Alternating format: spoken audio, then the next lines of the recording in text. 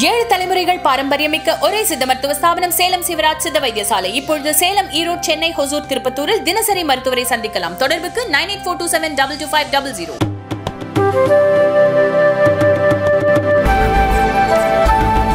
நக்சலிசத்தை காங்கிரஸ் கட்சி ஊக்குவிப்பதாக சத்தீஸ்கர் மாநில தேர்தல் பிரச்சாரத்தின் போது மத்திய உள்துறை அமைச்சர் அமித்ஷா குற்றம் சாட்டினார். சத்தீஸ்கர் மாநில சட்டப்பேரவை தேர்தல் இரண்டு கட்டங்களாக நடைபெற உள்ளன.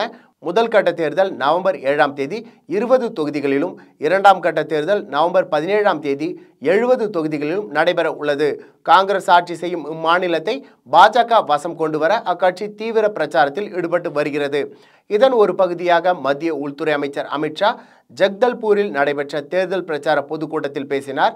நக்சல் தீவிரவாதத்தால் மிகப்பெரிய அளவில் பாதிக்கப்பட்ட மாநிலம் சத்தீஸ்கர். இதன் காரணமாகவே இம்மாநிலம் வளர்ச்சியில் பின்தங்கி இருந்தது.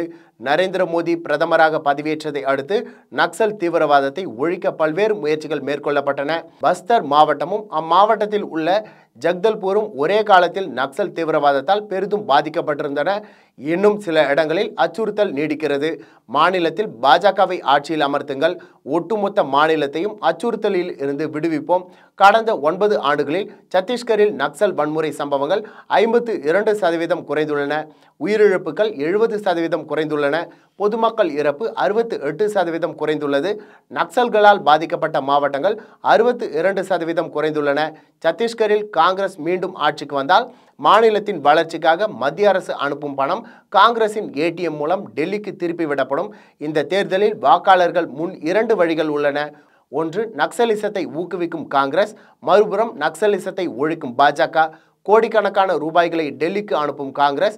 கோடிக்கணக்கான ஏழைகளுக்கு கேஸ் சிலிண்டர்கள் கழிவறைகள் குடிநீர் சுகாதார வசதிகள் தானியங்கள் மற்றும் வீடுகளை வழங்கி வரும் பாஜக என்று அமித்ஷா பேசினார்.